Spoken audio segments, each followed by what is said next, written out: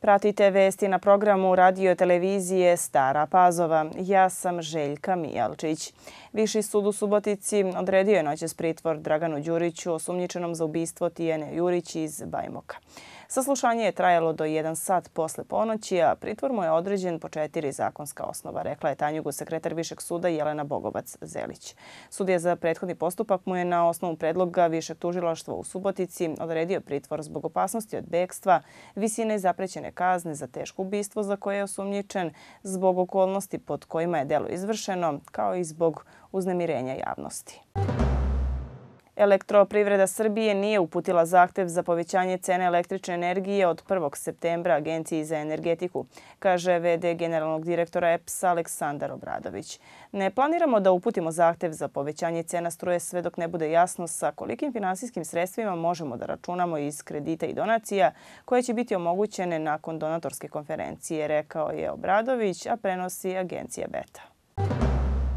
U ponedeljak na rukometnom igralištu u Staroj Pazovi biće održan humanitarni koncert za Darka Jurkovića, golubinčanina koji je pre 12 godina strada u saobraćenoj nesreći.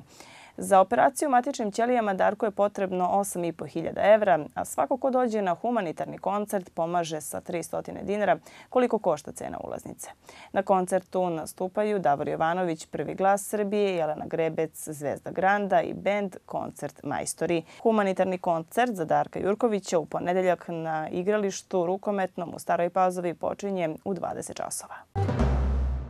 Pokrajinski sekretarijat za poljoprivredu, vodoprivredu i šumarstvo i 77 poljoprivrednih udruženja iz Vojvodine potpisali su ugovore na osnovu kojih su udruženje dobila podsticajna sredstva iz pokrajinskog budžeta za projekte i aktivnosti u ovoj godini.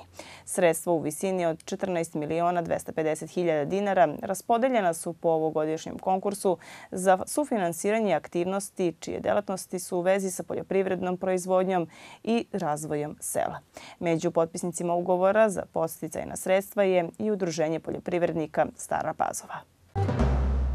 Udruženje građana Volim Banovce zajedno sa Udruženjem građana Pustolovu i restoranom Kafanica kod Nene i Peđe, mesne zajednice Stari Banovci i turistička organizacija Stara Pazova organizovali su takmičenje u kuvanju tradicionalnih jela sa ovih prostora i izbor najeko skulpture.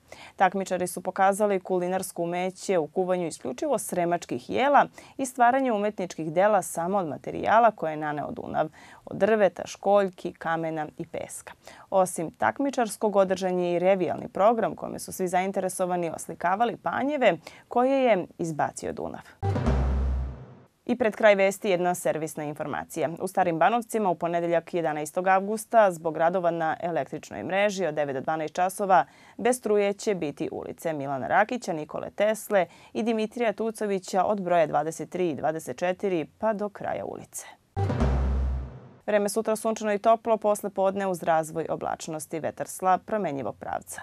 Minimalna temperatura 20, a maksimalna dnevna do 32 stepena. Pratili ste vesti na programu radio televizije Stara Pazova. Hvala vam na pažnji i ostanite uz naš program. Doviđenja.